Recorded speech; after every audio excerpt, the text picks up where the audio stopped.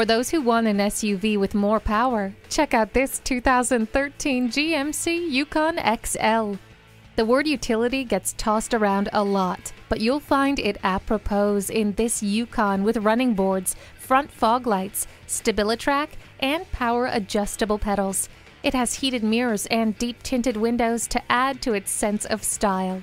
The heated seats keep you comfortable no matter how cold it is. Climb any mountain. This vehicle has four wheel drive. The backup camera gives you a clear picture of what's behind you.